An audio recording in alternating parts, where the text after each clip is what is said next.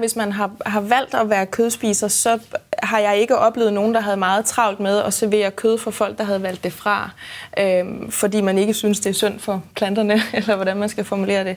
Jeg vil langt hellere tale om, at vi har altså taget et kollektivt valg om, at vores øh, menneskepræferencer overstiger dyrs præferencer, og derfor spiser vi ja. dem. Der er ikke noget, man ikke må diskutere, øh, men det, man er nødt til, særligt hvis man har en, en sag, som mm. kan man sige, kommer, det tror jeg godt, vi kan sige uden at fornærme nogen, så vagt igennem som, som det vegetariske budskab, særligt i Danmark, hvor vi spiser utrolig meget kød, øh, så man nødt til at, at tage folk en lille smule i hånden og være lidt til mere. Ikke? Men... Særligt problematisk fandt jeg det her med, at Majbrit så skrev, at øh, at, at kunne vegetarer ikke bare ligesom fatte sig i stillhed og spise deres grøntsager i stillhed, og lade os andre være i fred.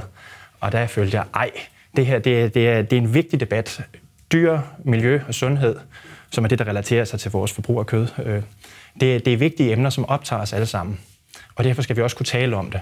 Men selvfølgelig er det vigtigt, hvordan vi taler om det.